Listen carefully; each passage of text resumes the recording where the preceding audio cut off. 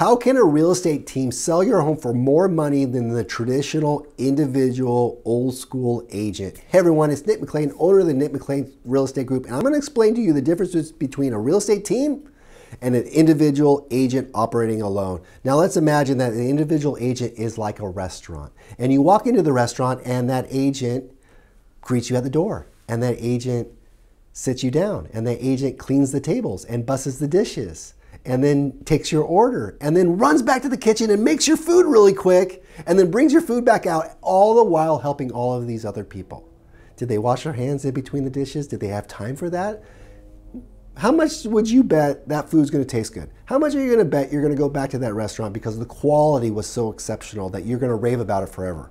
Probably very little. The chances are low. Why? Because you can't individually run a restaurant and also help a lot of people achieve the experience that they want to achieve. Now, a real estate team is like a, a, doctor's office, right? You walk into the doctor's office, what is the first thing that happens? They greet you, the receptionist greets you. The receptionist takes your information, bills the insurance company, takes your insurance information, and then the nurse assists you, takes your blood pressure, your height, your weight, and asks you all of the right questions so that when the doctor comes in, they're prepared to give you the highest quality service, expertise, and advice that's going to cure you or give you the, the information you need so that you feel better. It's no different in real estate. The individual agent system, traditional model is broken. It is antiquated. Those agents cannot serve their clients and sell their homes for the most money, period full stop. They can't do it because they can't afford to market your home at the highest level. They don't have the leverage. They don't have a listing coordinator to help them out,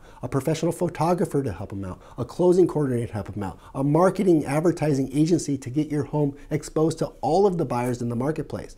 A real estate team does. And at the Nick McLean Real Estate Group, we have a professional photographer versus the agent taking their own photos or having to outsource it. We have a marketing division that markets your home and exposes it to 40,000 new buyers. Went to our website last month alone versus 50% of real estate agents, individual agents, don't even have a website. They don't even have one.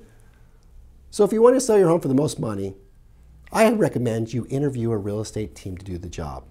And give us a call if you'd like to know what your home's worth. There's never any obligation or any pressure to sell, and that's the difference too. See, real estate teams, we sell over a home a day. We're not in a hurry to sell your home. We're not going to pressure you.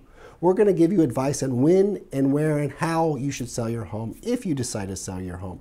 Because the individual agent, you know, they need that commission, so they're going to tell you it's a good time to sell. So give us a call if you want to know what your home's worth.